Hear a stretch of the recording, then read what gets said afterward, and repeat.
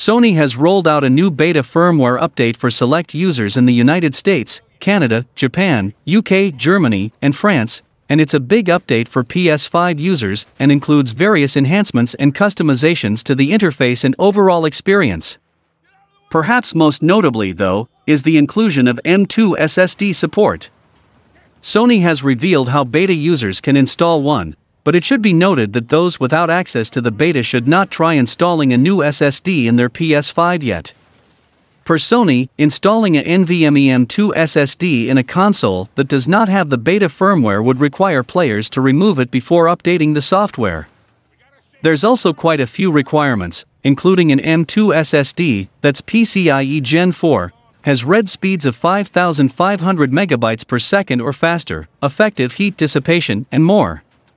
Because this is a beta, requirements and recommendations are likely to change, and Insomniac Games core level designer has tested the beta and the SSD support on Ratchet and Clank Rift Apart, and he confirms that it performs well and the game also loads quick, but not as fast as the internal one, and also the game is using the Kraken compression technique which is impressive.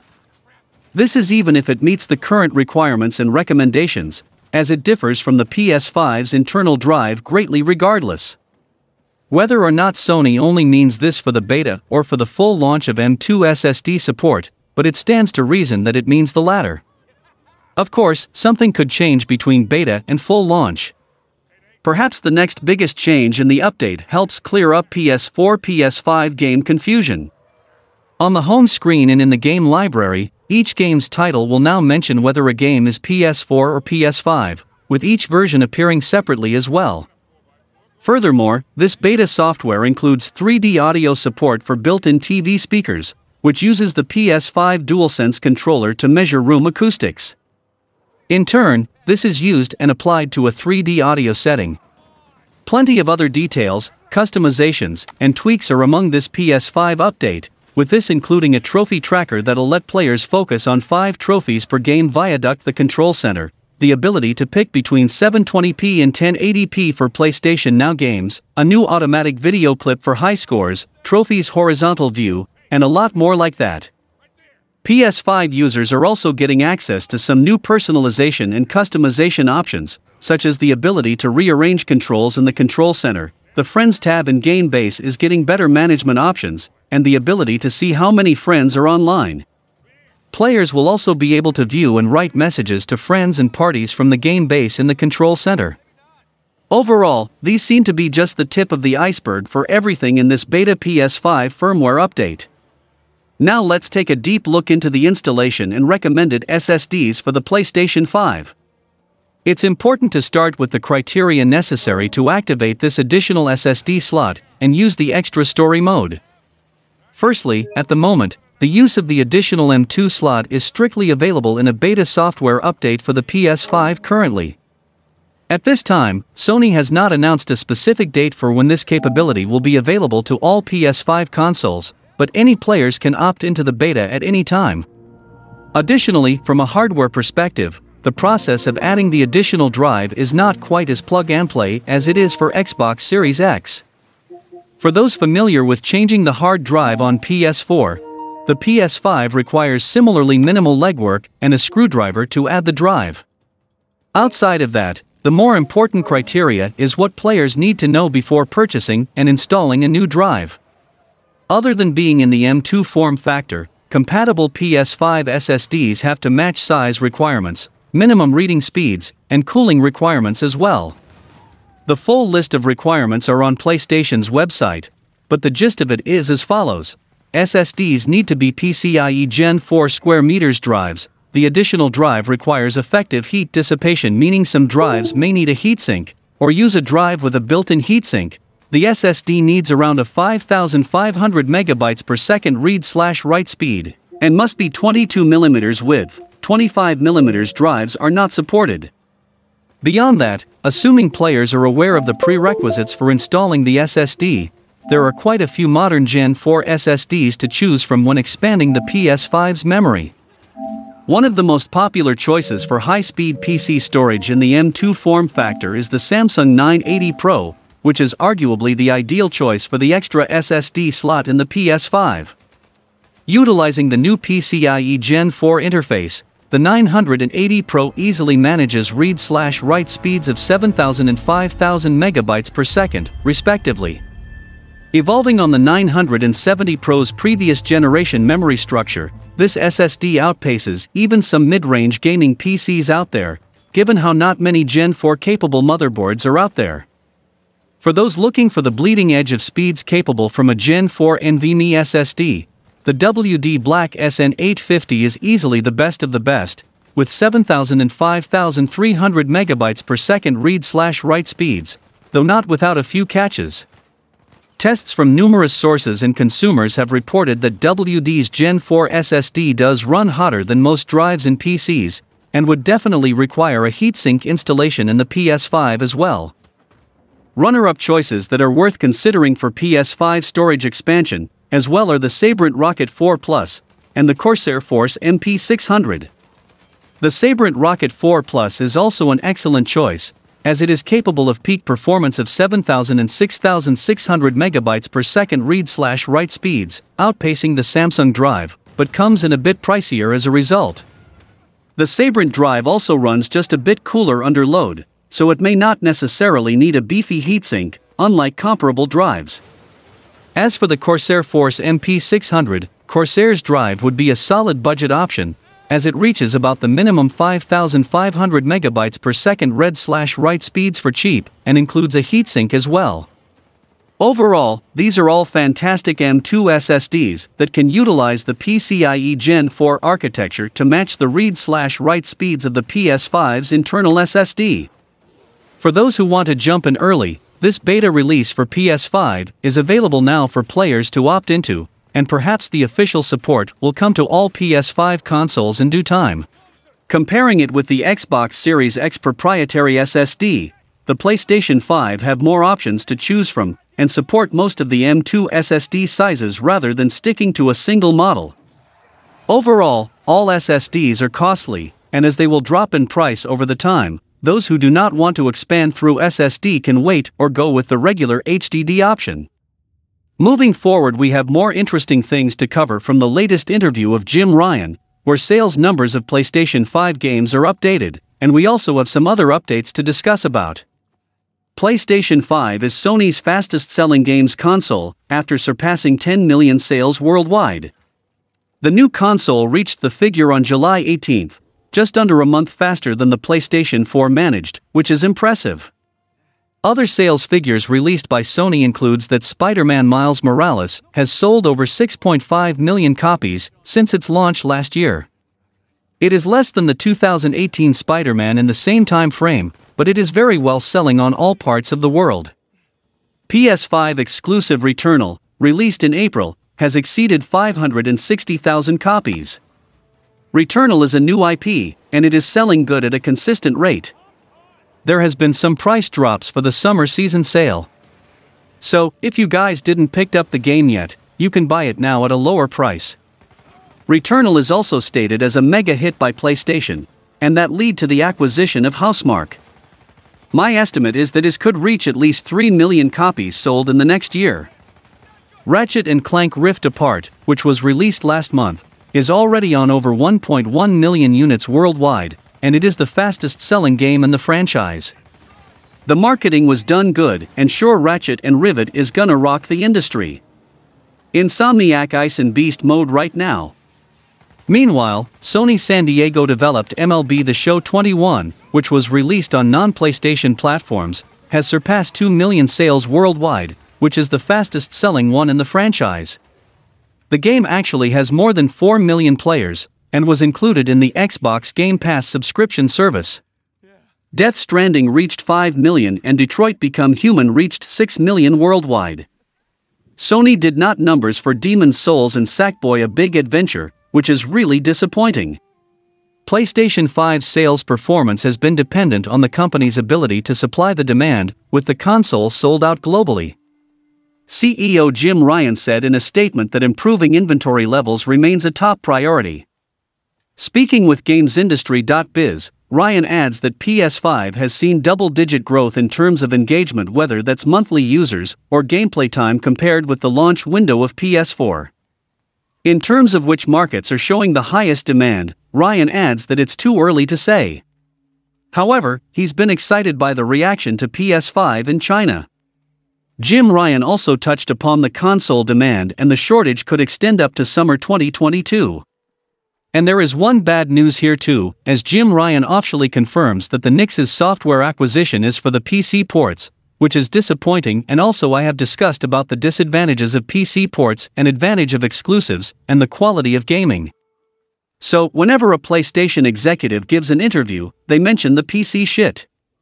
I am not with the every game should be everywhere, and it is quite sad that PlayStation is moving towards PC, but as long as there is quality in their games, I as a gamer will be satisfied.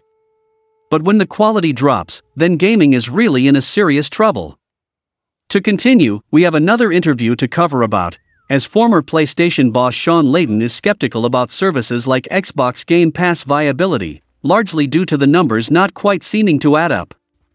The primary concern Layden seems to have, much like many of Service's other critics, regards the financial feasibility of including a diverse catalog of games for $9.99 a month. According to Layden, services will need about 500 million subscribers to make them profitable in the long run, a number that simply isn't realistic given where the industry is at right now. This is largely due to a stagnant audience, while it's true that the games industry has seen sizable revenue growth in the last few years, Layden says that the audience has remained around 240 to 260 million people for decades now, not factoring in mobile gamers.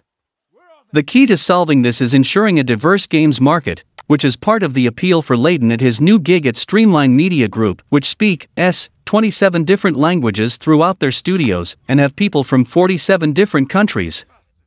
Layden also told that consolidation can take out the variety of games and also affect indies. But big publishers like PlayStation publishing variety of games in and supporting indies is definitely a step moving forward. And I also expect consoles to be the mainstream of gaming, which it is, and I don't want that to fade in the future. And I also predicting that the PlayStation 5 can pull off a lifetime sales figure of more than 200 million consoles sold. Ghost of Tsushima developer Sucker Punch Productions is hard at work on the game's expansion, Iki Island.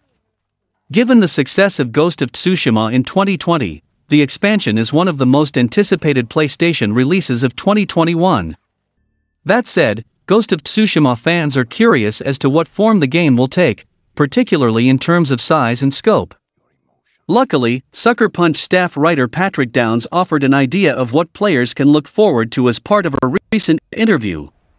Speaking with Press Start, Downs gave a pretty direct comparison for how big of an experience Iki Island will be in comparison to Ghost of Tsushima. Downs explained that fans should think of Iki Island as similar in size and content to Ghost of Tsushima's Izuhara region. It'll have that variety and depth of content, and playtime, of course, is how Downs characterizes the similarities between the two. Izuhara is, of course, Ghost of Tsushima's first major island region in the game, as well as its largest. While Downs doesn't explicitly state how long he expects the Iki Island expansion to last, it can be assumed based on typical Ghost of Tsushima playtimes. Just in a casual playthrough of Ghost of Tsushima, the first area can take over 15 hours. More thorough playthroughs can take up to 30 hours or more for Izuhara. It's not only the largest area in the game, but also the most densely packed when it comes to content for completionists. 15 to 40 hours for Iki Island sounds robust. One other key point to make is that while Izuhara is massive in the base version of Ghost of Tsushima, it's also the starting area. Which is to say, its content is easier than what players will find in the later two regions of Ghost of Tsushima. Iki Island isn't necessarily going to be significantly more difficult, but it's not content designed for players just starting the game. As such, it may be richer. What Downs is trying to convey is that Iki Island will be substantial. It's not just a DLC pack full of missions and cosmetics. It's a full experience with a massive open world to explore, a cinematic story, and plenty of content for completionists. That said, Sucker Punch obviously chose to make Iki Island require the base game, rather than let it be standalone like the Miles Morales game. Ghost of Tsushima, one of the most commercially and critically successful PlayStation exclusive titles for the PS4 and PS5 generation, will soon have an all new DLC expansion for players to play and explore. The DLC is centered on a new region called Iki Island, and the game's developers are beginning to reveal additional details about what players can expect from the new content. Sucker Punch Productions' acclaimed RPG recently celebrated its one year anniversary. Players first dove into the beautiful Tsushima Island landscape as Samurai Jin Sakai in the fight against the invading Mongols July 17, nearly a year to the day the game's expansion was announced. After swirling rumors of a standalone sequel, Ghost of Tsushima, director's cut was confirmed, centered around the mysterious Iki Island.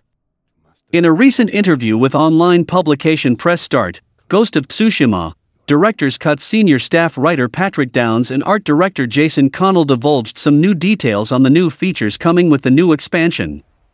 The pair touch on many different aspects of the DLC, but perhaps one of the most significant is the addition of horse armor.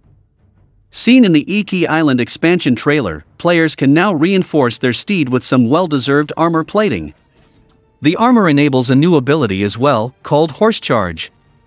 Horse Charge is an ability that scatters guys out of the way and gives riding horseback through an area an entirely new use. The developers do say they have a number of things that we're not talking about in terms of equipment and abilities as of yet, indicating some DLC aspects may have to be organically discovered by players. However, there is plenty of other info that they did reveal, namely of the overarching intent of Iki Island's contrasting aspects to Tsushima. Players who've been following news of the expansion are aware of the new main villain, the Eagle, but the cryptic antagonist is indicative of the overall environment. Iki Island serves as a direct counterpoint to Tsushima, a new ivy-covered biome, haven to pirates, smugglers, and raiders. These criminals are vastly different than the denizens of Tsushima, and staunch supporters of the Eagle, meaning Jin will have a new batch of enemies and types of enemies to fight against. Iki Island will only be accessible at the end of Act 1, which is also reportedly how long the DLC will take to complete. Players will be able to freely travel to and from the island, but only after a certain point of progression. However, one of the most popular details to have been revealed is the ability to tame cats, deer, and other animals.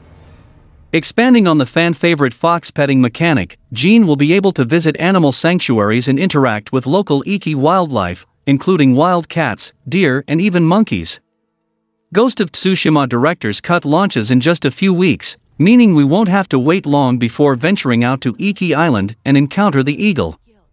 Speaking of expansions, Square Enix and Crystal Dynamics announced the release date for Black Panther War for Wakanda and an all access weekend for Marvel's Avengers. The new expansion follows King T'Challa, the current Black Panther and ruler of the isolated but technologically advanced Kingdom of Wakanda.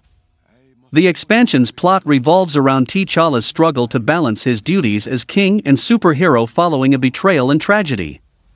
He must defend his people from the supervillain Claw, while also learning to trust those around him. It also appears that T'Challa's tech genius sister Shuri will play a significant role in the story.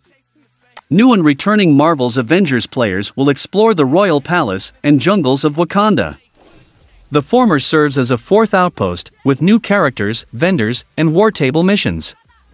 Players will have a chance to explore Shuri's lab, the chambers of court sorcerer Zawavari, and Wakanda's war room. It also sounds like the palace offers a great view of Wakanda's capital city of Birnin Zana. Square Enix and Crystal Dynamics haven't revealed much new information about the developers' take on Claw. The cybernetic South African mercenary was a recurring secondary villain in the Marvel Cinematic Universe, which Marvel's Avengers is partially inspired by. Most of his crimes in the films revolved around stealing and selling Wakanda's vibranium. That appears to be the case in the War for Wakanda expansion as well. Square has also not offered many details about the new zones and missions. However, much of the expansion will take place in Wakanda's verdant jungles. Meanwhile, the All Access weekend begins today and runs through Sunday, August 1st. It's available in all regions on PS4, PS5, Stadia, and PC via Steam. New players can try out the entire game for free, though PlayStation users require a PlayStation Plus subscription for online play. New players that decide to buy can keep their progress after the free trial ends.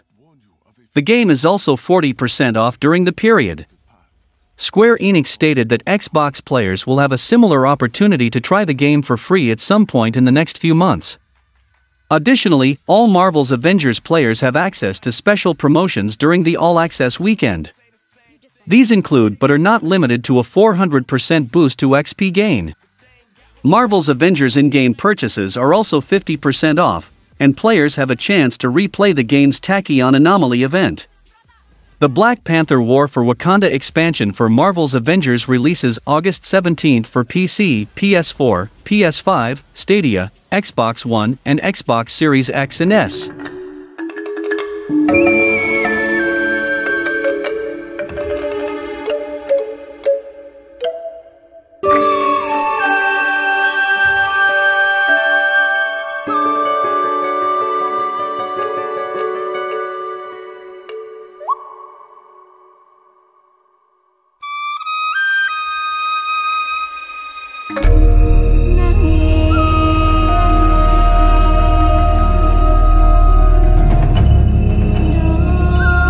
Up next we have unfortunate news, as Ember Lab announces yet another delay for its stunning story-driven adventure game Kena Bridge of Spirits, but thankfully it won't be a long one.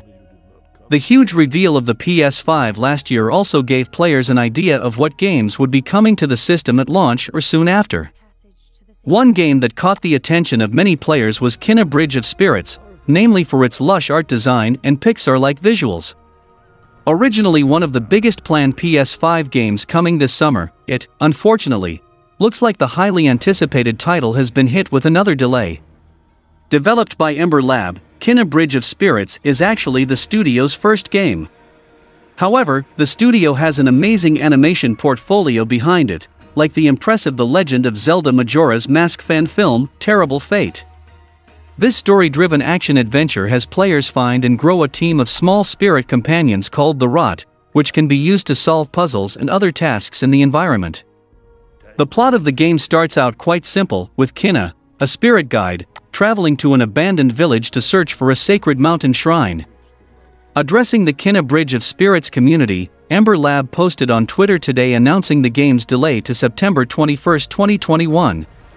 Ember Lab explains that the team is working diligently to bring the game to its audience, but that another month of development will help the studio ensure the best experience possible. The developers want to deliver the best version of Kena possible, which no doubt includes polishing the stunning visuals in Kena Bridge of Spirits, and making sure it works seamlessly on all platforms. At first, Kena Bridge of Spirits was supposed to be a PS5 launch title, then it was expected in early 2021, then it received the most recent release date of August 24, 2021. While an additional month until release may not seem like a whole lot, it will likely disappoint numerous fans who have already been waiting for over a year. Considering how the development team was impacted by the effects of the pandemic, the delay can at least prevent unhealthy studio crunch. Even though many developers might mandate a period of crunch as a release day approaches, gamers have come to have a more positive view when a game gets developed without crunch. Overall, many fans may be slightly disappointed to learn that Kena Bridge of Spirits is getting another delay.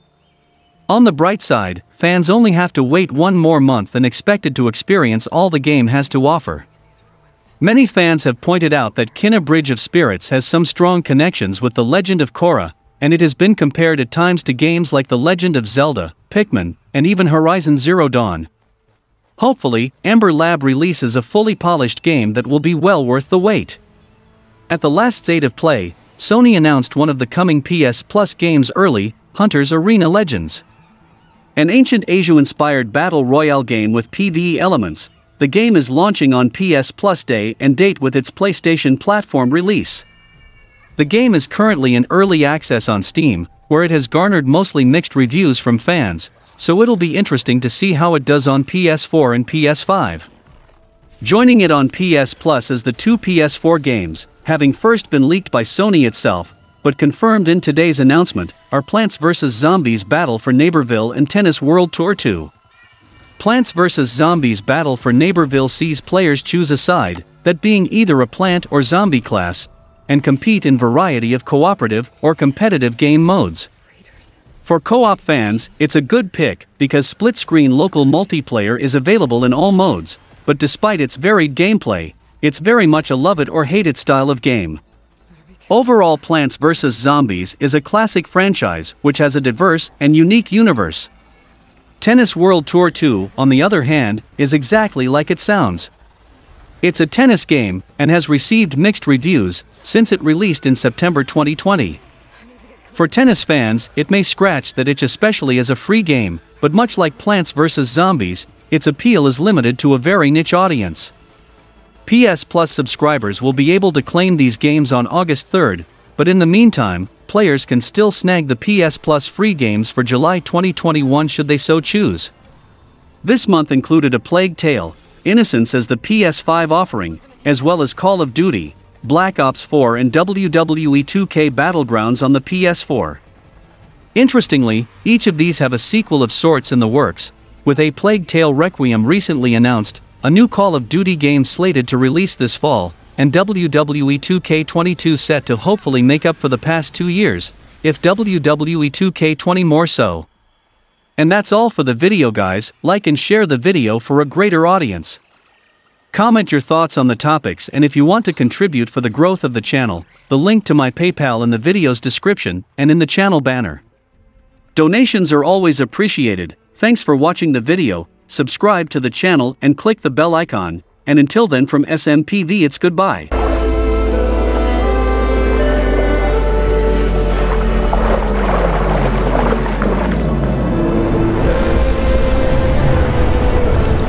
Mind me.